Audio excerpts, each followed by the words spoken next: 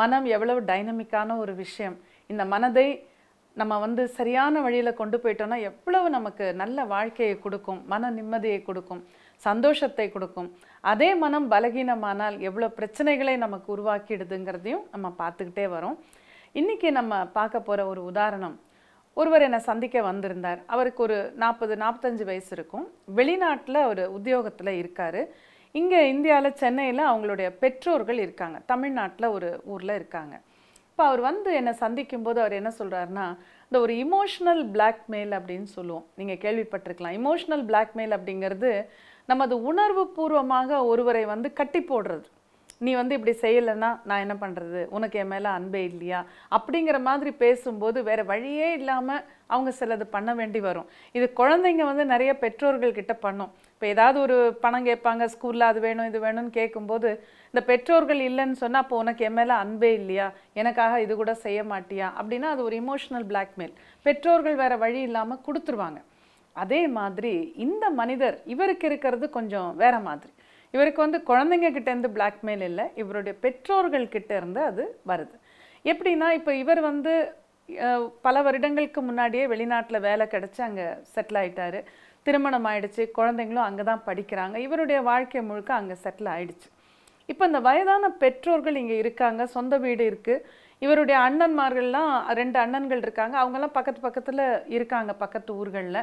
ஆனால் பெற்றோர் ரெண்டு பேரும் தனியாக தான் இருக்காங்க. எல்லா வசதிகளும் இருக்குது அவங்களுக்கு ஒன்றும் பிரச்சனை இல்லை.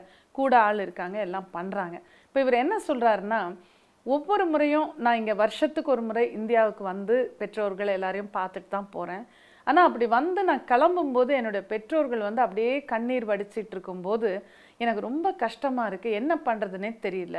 நீங்கள் சந்தோஷமாக இருங்க. எது வேணாலும் கேளுங்க. நான் பண்ணுறேன்னு சொல்லும்போது அவங்க என்ன சொல்கிறாங்க இன்றைக்கி நாங்கள் கேட்டு என்ன பிரயோஜனம்? எது இருந்து என்ன பிரயோஜனம்? நீ இல்லையே எங்களோட.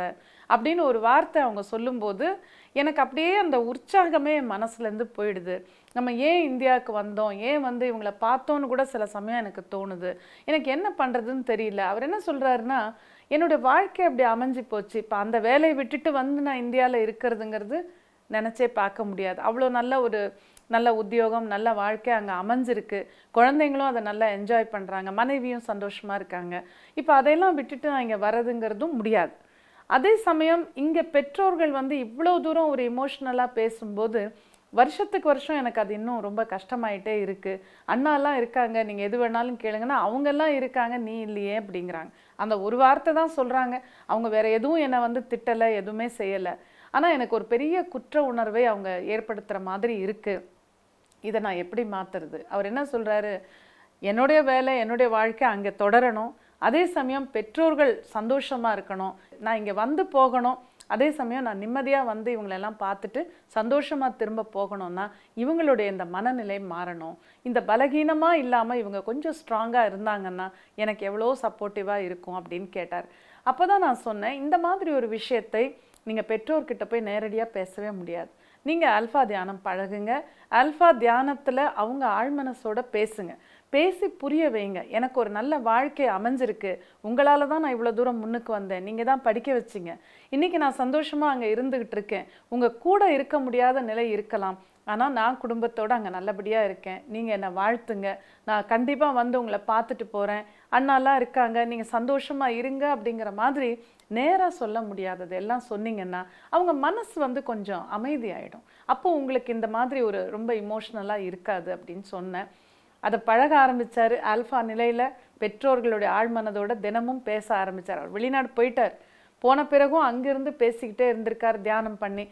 அதுக்கப்புறம் ஃபோனில் பேசும்போதே அவருக்கு ஒரு நல்ல வித்தியாசம் தெரிஞ்சிருக்கு. அதுக்கு அடுத்த வருடம் அவர் இந்தியாவுக்கு வந்தபோது மறுபடியும் வந்து என்னை சந்திச்சார்.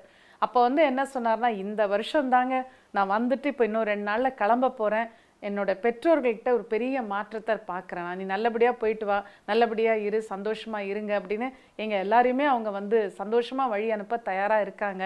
இது எவ்வளோ பெரிய மாற்றம் எனக்கு எவ்வளோ பெரிய நிம்மதிங்கிறது என்னால் புரிய வைக்கவே முடியாது அப்படின்னு ரொம்ப சந்தோஷமாக சொன்னார்.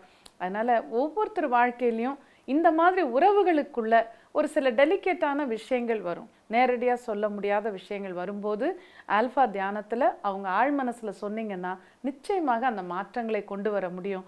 அவங்களும் சந்தோஷமாக இருக்கலாம். நீங்களும் நிம்மதியாக இருக்கலாம்.